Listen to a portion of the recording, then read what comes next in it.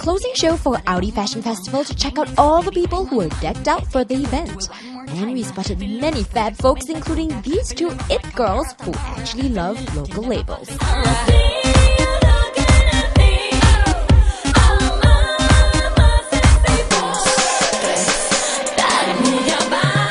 And here we have the very beautiful Tallulah Harlech Brand, the British It Girl. So, what are you wearing? I am wearing vintage from, bought especially from Jill Stuart in New York. Downstairs of her store, she has an incredible vintage section, and this was one of the pieces that I got. Very nice. I've never heard of this vintage section. Is it for privileged guests only? Uh, it's not actually, but I suppose it's a little trinket of a place. Everyone should go there. It's wonderful vintage in New York because there are a lot of very expensive places like New York Vintage that's really phenomenal but very pricey. And if you just, I suppose you wouldn't notice it until you go into the Jill Stuart shop and be amongst Jill Stuart, and then secretly downstairs there's this whole section of vintage. It's great. If, if we drop your name, will we get discounts? No. Okay. no, no use to me, woman. No use. about your shoes and your accessories? Uh, well, my bag is from Chanel.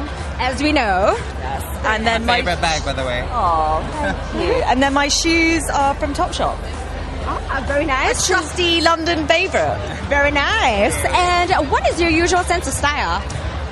Do you know, I've been asked this a lot in the last few days, and it's so hard. It's emerging because like, it's too. There are too many different things that inspire me and enlighten me, and that I want to wear for it to be one particular sense of style. So the past few days you've been wearing um, a lot of Local. local labels, a lot of Singapore labels. How has that been? What do you love about it? Do you know, I love the fluidity of the fabrics, and I suppose because it's of the climate, they're a lot freer in the movement and the feel of the fabrics as well, which is what's what I don't get so much of back in London because it's so cold. So, So, what uh, designers actually stick out in your head right now? Raoul. I wore a lot of Raoul and all dressed up, and then there were there were brands whose names I actually can't pronounce. I wore this amazing dress to the Mugler show that's by someone like, and I'm really sorry, like Elioni or Elohi or Elohim. Elohim. So, yeah. It was sexy. It was right for Mugler. I was really happy to be in it. Okay, when you travel, I mean, you came here for a fashion week. You can't bring your whole closet with you. So, what fashion staples did you bring around? high heels. They were my savior. They were what was most of my bag, effectively.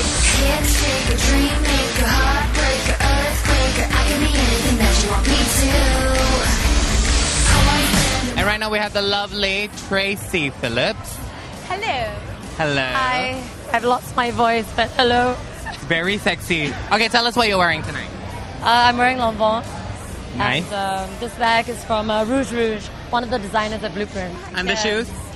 Um, Jeffrey Campbell, if you'd believe it. So, uh, you've been wearing a lot of local this whole week. Yes, I have. Why didn't you ask me yesterday and the day before? And the day before. Yes. I got this from Road Raiders. Oh, nice. Yeah. So, nice. At Road Raiders? yeah. Oh, you lucky thing. Yeah, so in a way, I was still supporting a local business. Uh-huh. Do you think Singapore fashion has what it takes to make I mean, I had a lot of good feedback from all the international buyers that were in town for blueprints, and I think definitely just give it a couple more years. And in fact, this year, I think a lot of people have already been picked up.